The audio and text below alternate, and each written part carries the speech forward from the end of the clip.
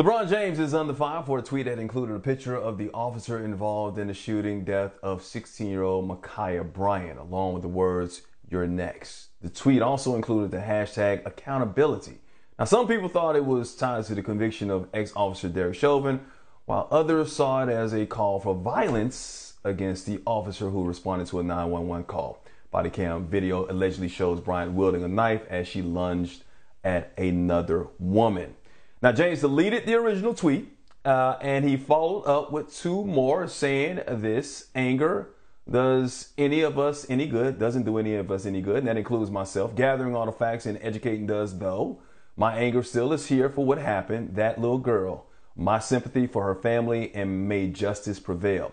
And the next tweet he said, I am so damn tired of seeing black people killed by police.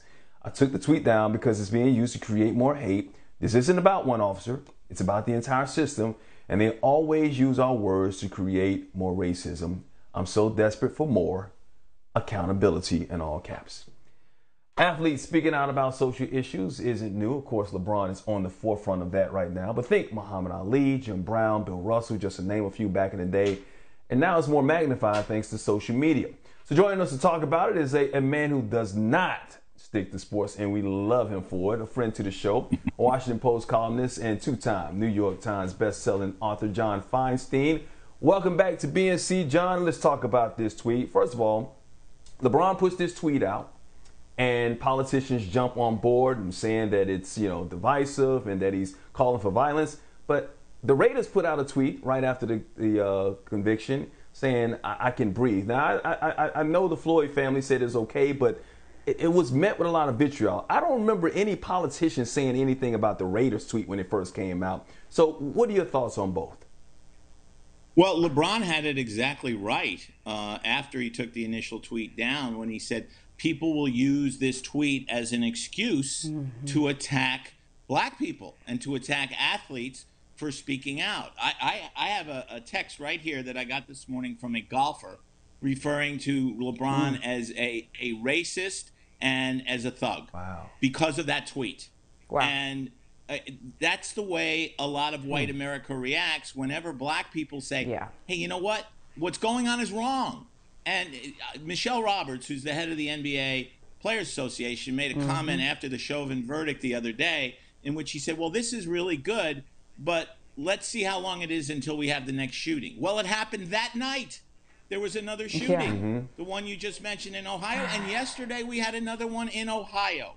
So it doesn't seem as if the police, white police specifically, are learning their lesson from what happened to Derek Chauvin in any way, shape, or form. It just continues. And I understand, I mean, I'm a white person, but I feel angry and frustrated by what's going on mm-hmm. and by the mm-hmm. fact that so many eh, white people, many of whom voted for Donald Trump, this isn't a coincidence, uh, say anytime a black person speaks out, they're wrong, we're right. Well, guess what? That's not true. Mm-hmm. Yeah. Yeah, all right. You know, John, every time you show mm. up here, you earn another plate that you get to take home from the barbecue because, you know, what you say, I subscribe to, you know, 99% of it, unless you're rooting against Georgetown. Uh, but I want to talk about Brett Favre. You know, I used to love this guy, mm-hmm. his grit, his just down home, you know, the, the whole branding of him at some point. He's now weighing in on the Chauvin trial, saying he finds it hard to believe uh, that the fired officer, the now convicted felon, the murderer, Derek Chauvin, meant to intentionally kill George Floyd. Now he goes on to say, look, the guy had thrown in the towel, uh, you know, it was wrong. But that part where he's going inside the mind of this officer, nine minutes, 29 seconds, John, on the neck. The man's dead, pleading. People are screaming, help him. What are we to make of Favre, who also tells his fellow athletes to, you know, stick to sports, stay out of politics? He's been called a racist. Unpack it for us. Mm-hmm.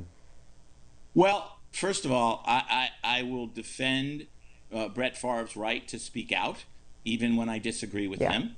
Um, and, and, we want yeah. athletes to speak out, regardless of what mm-hmm. side they're on. But his first comment, I can't believe this was intentional.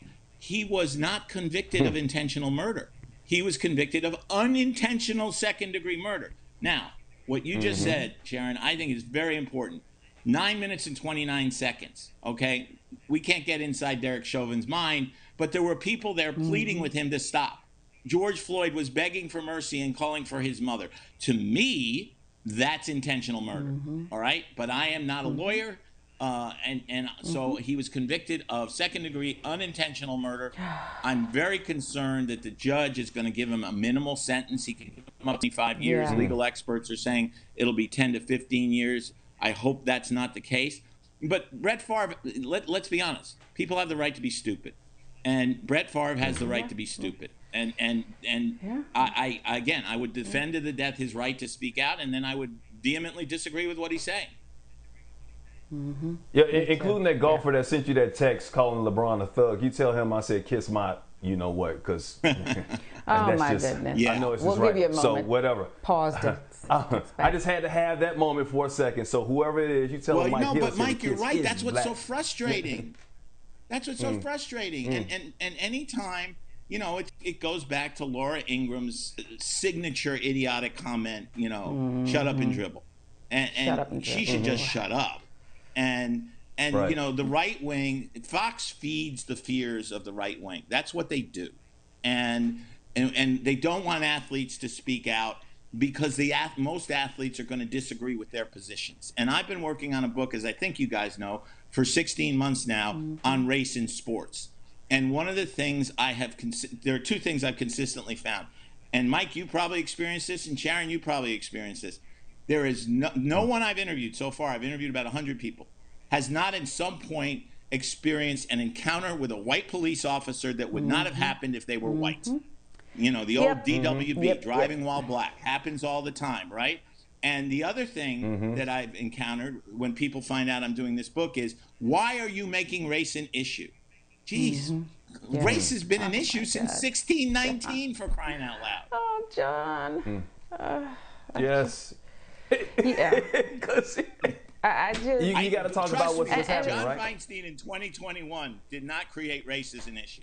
It happened long before I yeah, you're along. you're peddling. You're you're peddling race, John. I wonder what, and That's you're me. outspoken. You can certainly hold your own. But I wonder, you know, you get that that text that you got calling LeBron a racist. What is it like for you? You know, I look at Popovich, right? Um, he's around black players all the time. He's entrenched with them. So I suspect um, he's a little more comfortable. He's very outspoken. What? And I'm not saying you're not Yes, he comfortable. I'm just saying, what is it like for you as a white guy who just says what you want to say about these issues that not Mm-hmm. all white people agree with and they challenge you on? What does that look like? Do you engage? I, sometimes I engage if it's somebody I know, uh, like this golfer, uh, if, or if it's somebody who I think is trying to make a reasonable point, isn't just screaming, you know, how dare you Yeah. mention race in, in this world. Um, but uh, I, in some ways, to me, Sharon, it's almost like a badge of honor.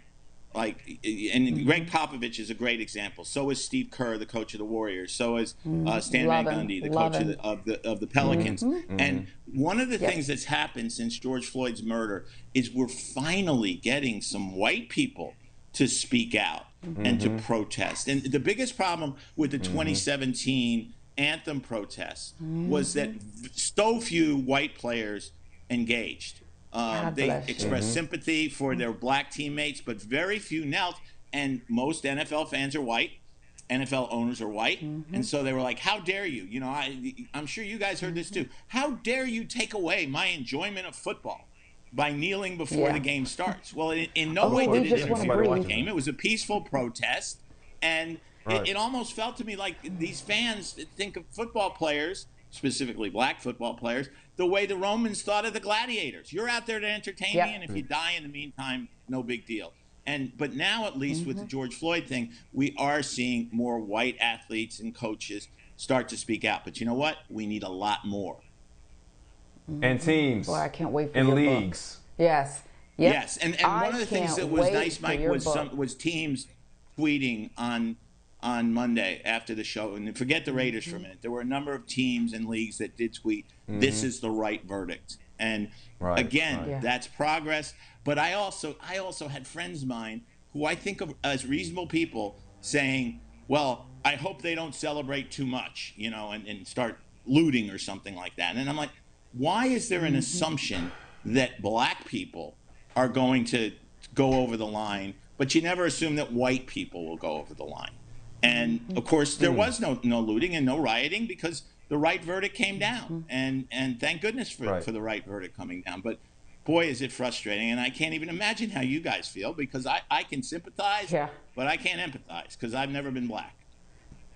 We yeah, but you know what? And thanks for saying that. day. We do live it, but it it it, it feels better when somebody like you, who's in the spotlight, just just tells it like it is. I can't tell you what that means, and and I do hope Mm-hmm. that more um, white Americans who who don't harbor, who are no Derek Chauvins, will step up and say, you know what?